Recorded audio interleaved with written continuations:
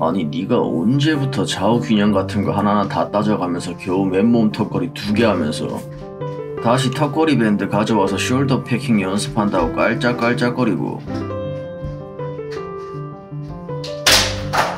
네 지금 장난을 하나?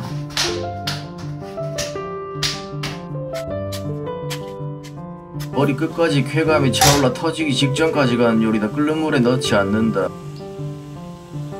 끓는 물을 라면 봉지로 밀어 넣는다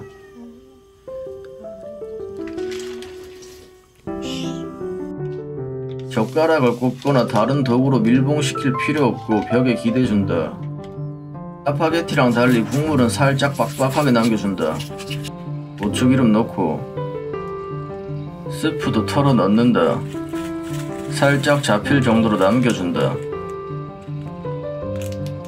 팔도 비빔장은 최소 이 정도는 넣어줘야 한다. 물티슈, 사천 짜파게티, 커피우유 이렇게 똑같이 세팅하고 절대 실내에서 섭취하면 안 된다. 옥상으로 올라가거나 없다면 들고 길거리로 나간다.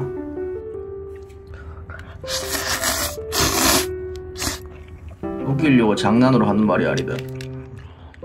최상의 조리 상태는 아주 살짝 덜 익은 상태에서 대충 비비다 보면 분말 소스가 살짝 살짝 뭉쳐 있는데 이렇게 잘 조리해서 먹는다면 머리 끝까지 쾌락이 차올라 터지기 직전이 될 것이다.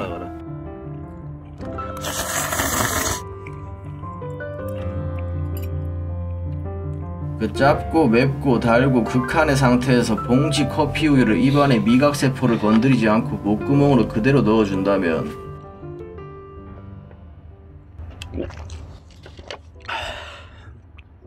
물티슈로 입 깔끔하게 닦고 뒤처리 야무지게 하고 나면 끝이다. 반드시 물티슈로 입을 깔끔하게 닦는 것까지가 마무리다. 왜 커피 한잔 할래? 안 먹나?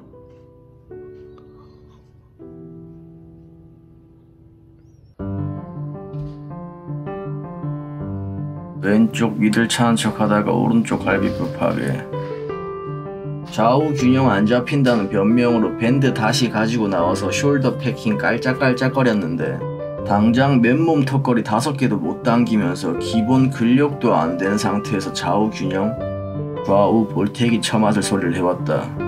밴드 다 찢어버리고 맨몸 턱걸이 개수부터 채워서 기본 근력을 채우는 게 가장 중요한 거다 지금.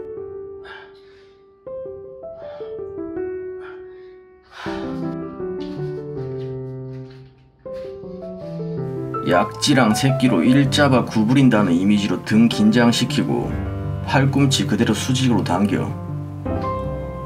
그래 조금 불균형 있어도 네 어차피 오른손잡이고 오른쪽이 셀 수밖에 없다. 나중에 조금씩 맞춰가면 되는데 꼼꼼히 하려는 게 오히려 이때까지 다 망쳐왔다 애가. 0.5kg, 1kg, 1.5kg 아량이다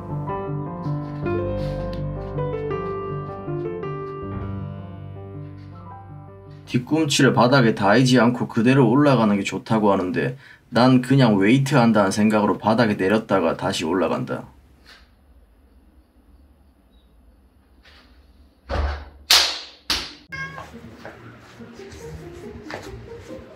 하지 마라. 하지 마라.